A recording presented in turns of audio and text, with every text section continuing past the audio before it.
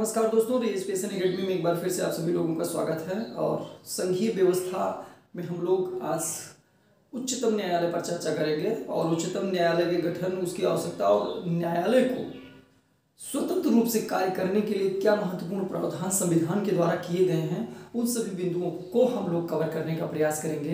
क्योंकि न्यायालय एक ऐसा स्थान है जहाँ पर विभिन्न प्रकार के मुद्दों से संबंधित मामलों पर निर्णय दिया जाता है तो इस बात की आवश्यकता होती है कि वो निष्पक्ष और स्वतंत्र रूप से काम कर सके। इसके लिए कुछ संवैधानिक प्रावधान किया जाना आवश्यक है। तो इन सभी बातों को हम लोग आज के इस लेक्चर में कवर करने का प्रयास करेंगे। उच्चतम न्यायालय, भारत का जो है सर्वोच्च न्यायालय है, और यहाँ पर अधीनस्थ सभी न्यायालय निर्णय या न्यायाधिकरणों के निर्णय के विरुद्ध जो है अपील किया जा सकता है। केवल एक ऐसा संरचना एक ऐसी व्यवस्था है जिसके खिलाफ यहाँ पर अपील नहीं की जा सकती है, वो है मार्शल कोर्ट।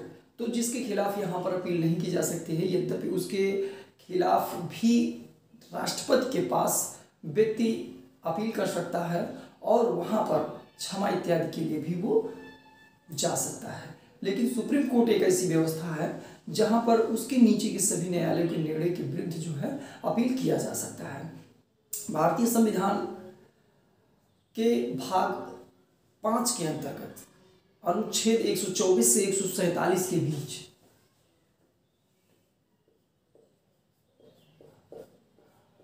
भाग पाँच में आर्टिकल 124 से लेकर एक के बीच में 124 से लेकर एक के बीच में उच्चतम न्यायालय का प्रावधान किया गया है। क्योंकि न्यायालय एक ऐसी व्यवस्था जहाँ पर विवादों का निर्णय किया जाता है तो इस पृष्ठभूमि में इसको ये देखना आवश्यक है कि इसकी स्थापना किस तरीके के परिस्थितियों में किया गया, इसकी क्या आवश्यकता इत्यादि थी। तो यहाँ पर इस बात को ध्यान में रखना है कि भारत में संघात्मक शासन प्रणाली अपनाई गई है और संघात्मक शासन प्रणाली की सबसे महत्वपूर्ण विशेषता होती है कि केंद्र, राज्य और प्रांतों में शक्तियों का विभाजन किया जाता है।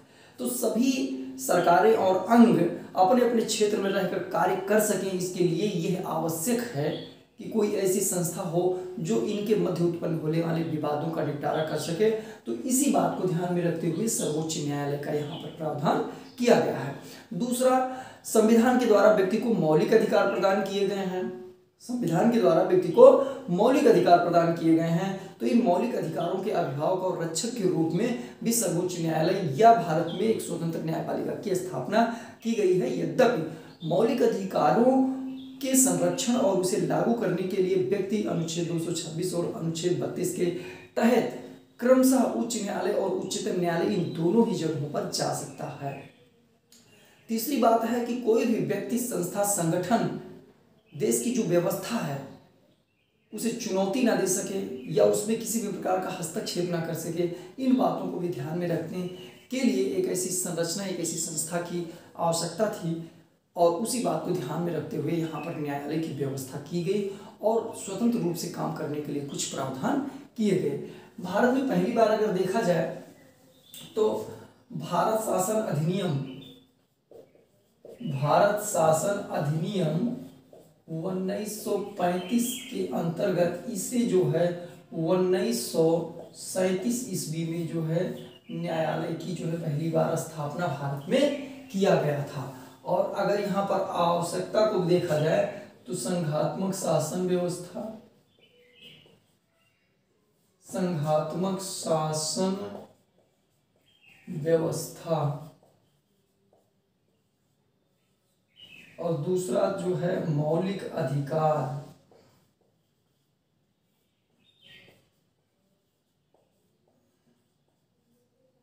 और तीसरा है संविधान। ये तीन ऐसे पॉइंट हैं जिनको ध्यान में रखते हुए भारत में न्यायालय की व्यवस्था की गई और उसे इतना सक्षम बनाया गया कि वो सामान्य रूप से प्रभावित हुए बगैर इन सभी जो है व्यवस्थाओं को बनाए रखने के लिए कार्य कर सके। तो इसी पृष्ठभूमि में भारतीय संविधान के भाग पाँच में आर्टिकल 124 से लेकर एक के बीच में सर्वोच्च न्यायालय या भारत के उच्चतम न्यायालय का प्रावधान किया गया है और इसकी सबसे पहली बार स्थापना जो है भारत शासन अधिनियम 1935 के अंतर्गत ए उन्नीस ईस्वी में इसे स्थापित किया गया था। तो आवश्यकता और पृष्ठभूमि इन बिंदुओं में स्पष्ट किया जा सकता है। दूसरी महत्वपूर्ण बात है, जो हम गठन के संदर्भ में देखेंगे। आर्टिकल 124 आर्टिकल 124 के अंतर्गत कहा गया है कि भारत में एक उच्चतम न्यायालय होगा और यह एक मुख्य न्यायाधीश सहित अन्य न्यायाधीशों से मिलकर बनेगा। यहाँ पर ये प्रश्न उत्पन्न होता है कि अन्य न्यायाधीशों की संख्या तो अन्य न्यायाधीशों की संख्या वही होगी जिसे समय समय पर संसद के द्वारा निर्धारित किया जाएगा। वर्तमान समय में कुल मुख्य न्यायाधीश सहित अन्य न्यायाधीशों की संख्या जो है चौंतीस है और जब देश में पहली बार जो है स्वतंत्रता के समय जो है भारत में आठ न्यायाधीश हुआ करते थे, वर्तमान में चौंतीस न्यायाधीश हैं। तो कुल मिलाकर के एक मुख्य न्यायाधीश और अन्य न्यायाधीशों से मिलकर के सर्वोच्च न्यायालय या भारत के उच्चतम न्यायालय का गठन किया जाएगा। मुख्य न्यायाधीश की नियुक्ति भारत के राष्ट्रपति के द्वारा किया जाएगा और अन्य न्यायाधीश तथा उच्च न्यायालय के अन्य न्यायाधीशों, उच्च न्यायालय के न्यायाधीशों की नियुक्ति राष्ट्रपति भारत के मुख्य न्यायाधीश से परामर्श लेकर के करेंगे। और न्यायाधीश मामले उन्नीस ईस्वी में, यानी कि तीसरा न्यायाधीश एक मैटर था न्यायाधीशों की नियुक्ति के संदर्भ में, पहला, दूसरा, तीसरा तो इस तरीके के कई केस आए थे। तो उसमें तीसरा जो न्यायाधीश मैटर था, वो उन्नीस सौ अट्ठानवे ईस्वी में आया था और जिसमें इस बात को स्पष्ट किया गया था कि राष्ट्रपति को मुख्य न्यायाधीश द्वारा जो परामर्श दिया जाएगा, वह उसके पूर्व में, यानी कि राष्ट्रपति हो गए और यहाँ पर मुख्य न्यायाधीश हो गए। ये इनको परामर्श देंगे, लेकिन ये पुनः इनका जो परामर्श होगा, वो चार न्यायाधीशों के द्वारा बने गए जो है, समूह से परामर्श पर आधारित होगा। ये चार न्यायाधीशों से बने हुए उसे कहा जाता है कॉलेजियम, यानी कि चार न्यायाधीशों का जो समूह उसे कॉलेजियम। इसीलिए वर्तमान समय में न्यायाधीशों की नियुक्ति की कॉलेजियम सिस्टम जो है, वो प्रचलित है। और मुख्य न्यायाधीश इन चारों न्यायाधीशों से बने हुए समूह से परामर्श के आधार पर राष्ट्रपति को न्यायाधीशों की नियुक्ति के संदर्भ में परामर्श देंगे और मुख्य न्यायाधीश का जो परामर्श होगा, वो कम से कम दो न्यायाधीशों के मत से साम्य होना चाहिए या दो न्यायाधीशों के मत से संगत होना चाहिए। तो ये व्यवस्था अन्य न्यायाधीशों की नियुक्ति के संदर्भ में रही है, जिसका कि उल्लेख और प्रावधान आर्टिकल 124 के अंतर्गत यहाँ पर किया गया है। अब ये आती है नियुक्ति के बाद कार्यकाल की व्यवस्था।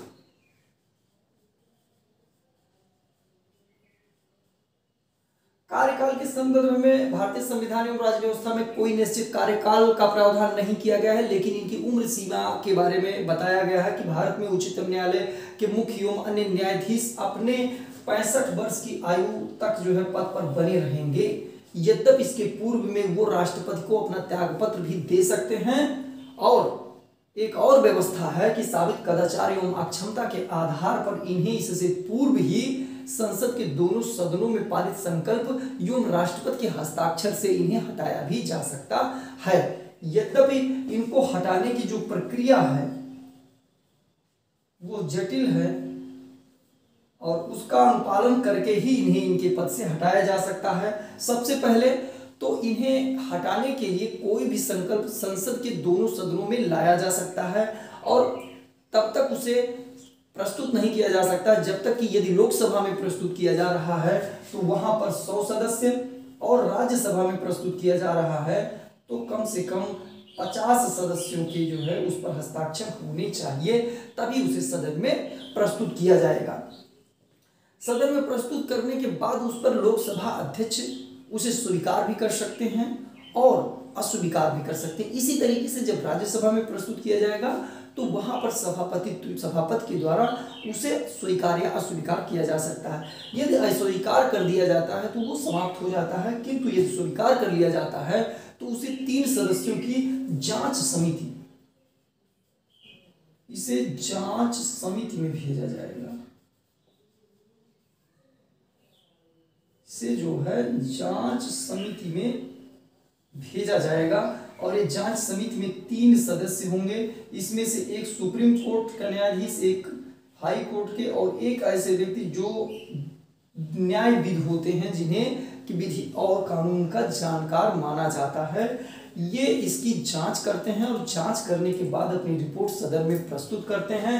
सदन में प्रस्तुत करने के बाद ये दोनों सदनों से विशेष बहुमत, यानी कि दो तिहाई बहुमत से इसे पास होना आवश्यक है और पास होने के बाद इसे जो है राष्ट्रपति के पास रखा जाएगा और उनके हस्ताक्षर होने के बाद इनका पद जो है समाप्त हो जाएगा। ये व्यवस्था है भारतीय संविधान एवं राज्य व्यवस्था में किसी भी न्यायाधीश को हटाने के संदर्भ में इससे भी संबंधित सवाल परीक्षा में पूछे जाते रहे हैं और कब किन किन लोगों के खिलाफ लाया गया है ये चैप्टर समाप्त होने के बाद हम लोग उस पर भी डिस्कस करेंगे ताकि तथ्यात्मक क्वेश्चन और उसके आंसर के बारे में आप लोगों को एक स्वस्थ जानकारी हो सके, एक स्वस्थ अवधारणा का विकास हो सके।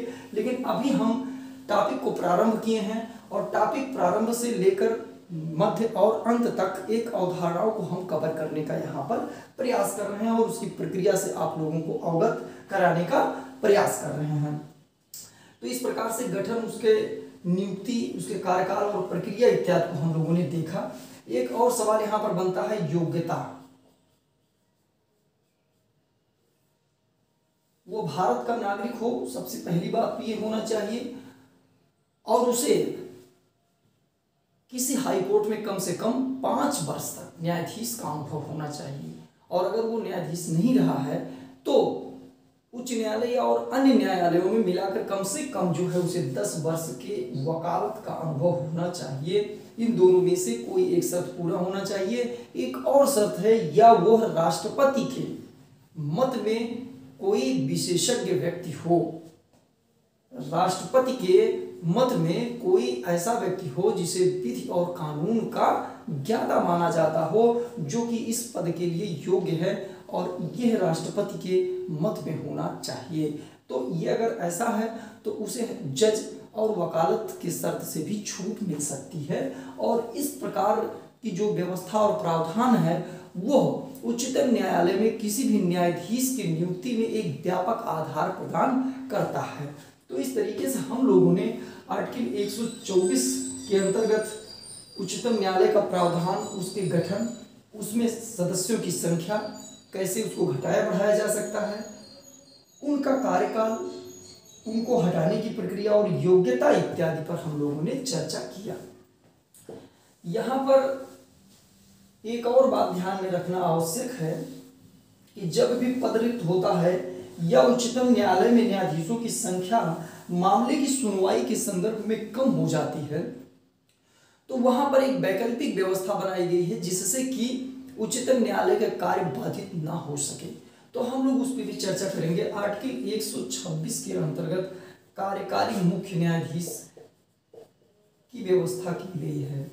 कार्यकारी जो है, वो मुख्य न्यायाधीश, कार्यकारी मुख्य न्यायाधीश की व्यवस्था की गई है और कार्यकारी मुख्य न्यायाधीश की नियुक्ति राष्ट्रपति के द्वारा की जाएगी, चूँकि मुख्य न्यायाधीश ही नहीं है। तो परामर्श मुख्य न्यायाधीश से लेने का कोई औचित्य नहीं है, अर्थात राष्ट्रपति के द्वारा।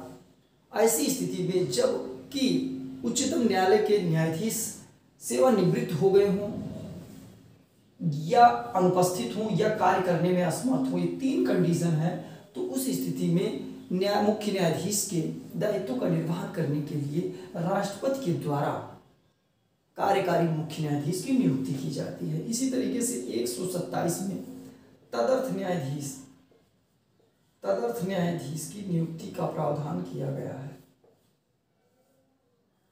तदर्थ न्यायाधीश, जब अस्थाई सदस्यों अस्थाई न्यायाधीशों की संख्या कम हो जाती है और कोरम पूरा करने के लिए न्यायाधीशों की आवश्यकता होती है तो वहाँ पर मुख्य न्यायाधीश, यानी कि उच्चतम न्यायालय के मुख्य न्यायाधीश के द्वारा राष्ट्रपति और जिस भी न्यायालय से जिस भी न्यायालय या चाहे हाई उच्चतम उच्चतम न्यायालय हो, हालाँकि उच्चतम न्यायालय तो पहले से ही जो है कमी है तो वहाँ से तो लिया नहीं जा सकता, ये उच्च न्यायालय से ही लिया जा सकता है। तो राष्ट्रपति और जिस भी न्यायालय, चाहे जिस भी राज्य का उच्च न्यायालय हो, वहाँ के न्यायाधीश मुख्य न्यायाधीश से परामर्श के बाद यहाँ पर उसे तदर्थ न्यायाधीश के रूप में नियुक्त किया जा सकता है। यानी कि तदर्थ न्यायाधीश की नियुक्ति का प्रावधान आर्टिकल 127 के अंतर्गत किया गया है और ये अधिकार उच्चतम न्यायालय के मुख्य न्यायाधीश को दिया गया है। उच्चतम न्यायालय का मुख्य न्यायाधीश जिस भी राज्य के उच्च न्यायालय से न्यायाधीश को नियुक्त किया जाना है, वहाँ के न्यायालय के मुख्य न्यायाधीश और राष्ट्रपति से परामर्श करने के बाद तदर्थ न्यायाधीश के रूप में नियुक्त कर सकते हैं। इसी तरीके से 128 के अंतर्गत भी एक प्रावधान यह है कि सेवानिवृत्त न्यायाधीश सेवानिवृत्त। सेवानिवृत्त न्यायाधीश के बारे में भी जो प्रावधान है कि अगर कोई भी न्यायाधीश जो कि उच्चतम न्यायालय या उच्च न्यायालय से सेवानिवृत्त हो गया है तो वहाँ पर मुख्य न्यायाधीश के द्वारा राष्ट्रपति और उस न्यायाधीश से चाहे वो उच्चतम न्यायालय का हो, चाहे उच्च न्यायालय का हो, से परामर्श लेने के बाद उसे सेवानिवृत्त के रूप में नियुक्त कर सकता है। यद्यप सेवानिवृत्त न्यायाधीशों की नियुक्ति कार्य की अधिकता इत्यादि को ध्यान में रखते हुए किया जाता है, लेकिन उन्हें उच्चतम न्यायालय के न्यायाधीश की संख्या के रूप में गिना नहीं जाता है। तो इस तरीके से गठन के बाद जो है कुछ विशेष परिस्थितियों में जबकि वहाँ पर पद रिक्त होते हैं या कार्य या कोरम इत्यादि की ध्यान में रखते हुए इस अनुच्छेद 126, 27 और 28 में क्रमशः कार्यकारी मुख्य न्यायाधीश तदर्थ न्यायाधीश और सेवानिवृत्त न्यायाधीशों की नियुक्ति की जाती है जिससे उच्चतम न्यायालय के कार्य को संपादित और निस्तारित किया जाना संभव हो सके। तो ये बातें रही उच्चतम न्यायालय के गठन के संदर्भ में। उच्चतम न्यायालय के गठन के संदर्भ में हम लोगों ने ये सारी प्रक्रिया और व्यवस्था देखा। अब हम स्वतंत्रता पर थोड़ा सा चर्चा करते हैं।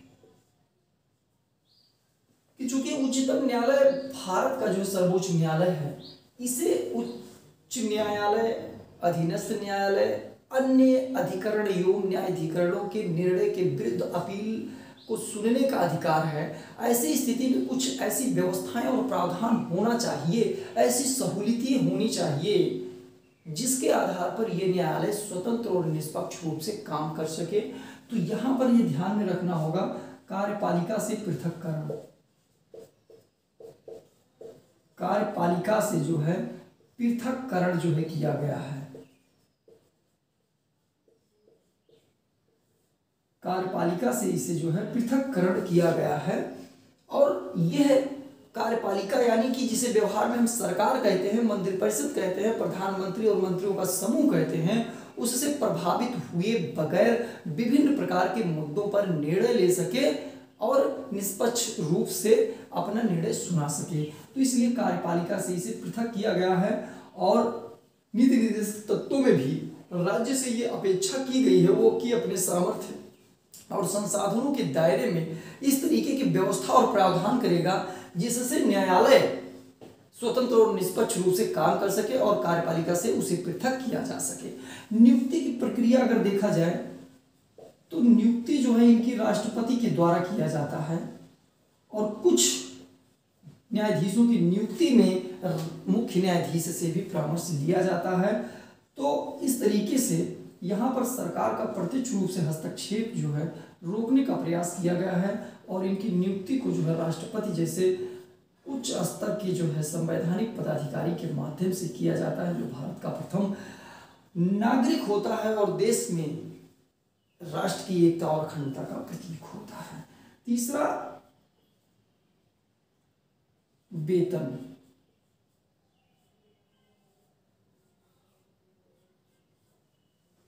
इन्हें जो वेतन दिया जाता है वो इनके पद और इनकी गरिमा को ध्यान में रख करके दिया जाता है। समय समय पर संसद के द्वारा इसमें बढ़ोतरी की जाती है। इसे कम नहीं किया जाता इन, इनकी परिलब्धियों को कम नहीं किया जा सकता है भले बढ़ाया जाता है।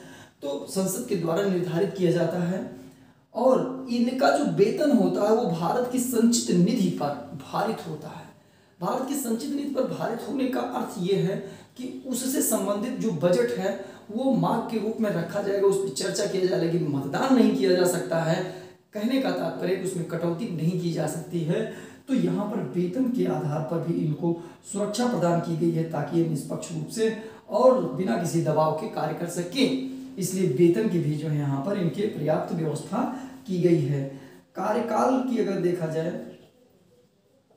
तो इनका कार्यकाल भी पर्याप्त रखा गया है, पूर्णकालिक रूप में जो काम करते हैं और पैंसठ वर्ष की आयु तक इन्हें काम करने की सुरक्षा प्रदान की गई है और इनको हटाने की प्रक्रिया अत्यंत ही जटिल है, यानी कि साधारण रूप से इन पर आरोप लगाकर इनको नहीं हटाया जा सकता है।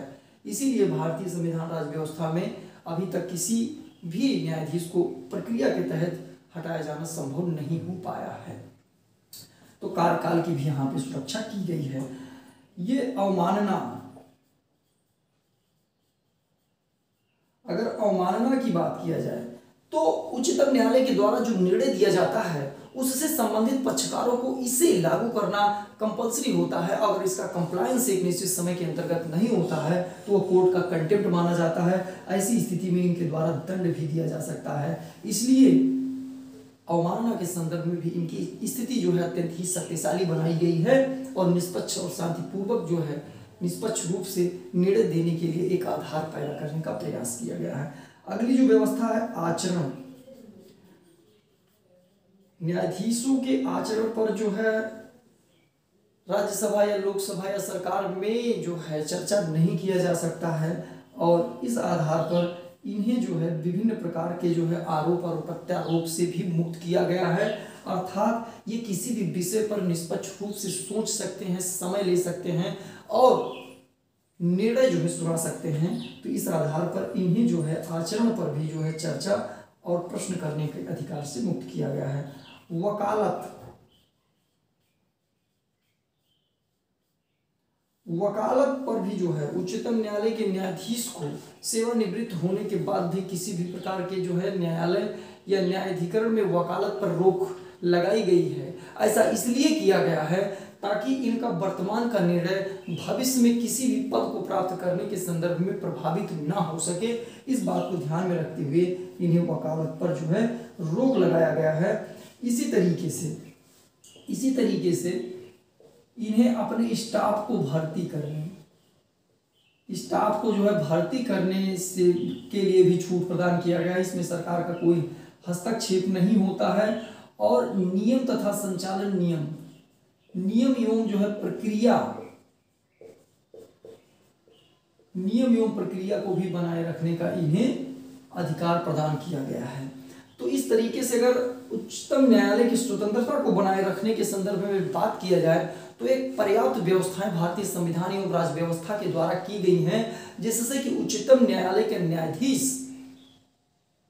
इस तरीके से किसी मामले की सुनवाई कर सकते हैं और निर्णय दे सकते हैं, जो अपने स्वरूप में अत्यंत ही पारदर्शी और निष्पक्ष हो। तो इस तरीके से आप लोगों ने देखा कि आज के टॉपिक में हम लोगों ने उच्चतम न्यायालय को प्रारंभ किया और उसके आवश्यकता और तात्कालिक पृष्ठभूमि पर चर्चा करने के साथ साथ उसके गठन के बारे में और इसी तरीके से न्यायालय को स्वतंत्र बनाए रखने के संदर्भ में व्यापक प्रावधानों का हम लोगों ने अध्ययन किया। एक और व्यवस्थाएँ सरकार के द्वारा पहल की गई थी, जिसे निन्यानवेवा संविधान संशोधन अधिनियम के माध्यम से राष्ट्रीय न्यायिक नियुक्ति आयोग को स्थापित किया गया था। लेकिन इस न्यायिक नियुक्ति आयोग को सुप्रीम कोर्ट, यानी कि उच्चतम न्यायालय के द्वारा असंवैधानिक करार दिया गया इसलिए वर्तमान समय में न्यायाधीश की नियुक्ति की जो प्रक्रिया है, वो पूर्ववत जो है कॉलेजियम सिस्टम पर ही आधारित है और इसके द्वारा उच्च न्यायालय और उच्चतम न्यायालय के न्यायाधीशों की नियुक्ति, राष्ट्रपति के द्वारा उच्चतम न्यायालय के मुख्य न्यायाधीश के परामर्श, जो कि चार न्यायाधीशों के समूह के कॉलेजियम पर जो है आधारित है, के द्वारा किया जाता रहा है। तो आज के टॉपिक में बस इतना ही। पुनः अगले लेक्चर में हम इसके अगले भाग को लेकर के मिलेंगे। तब तक आप अपनी तैयारी को अन्य विषयों, अन्य टॉपिक के साथ साथ जो है बढ़ाते रहिए। मेहनत से अपने लक्ष्य को पाने का प्रयास कीजिए। और पुनः हम अगले लेक्चर में एक नए टॉपिक के, इसके अगले भाग के साथ मिलेंगे। तब तक के लिए नमस्कार।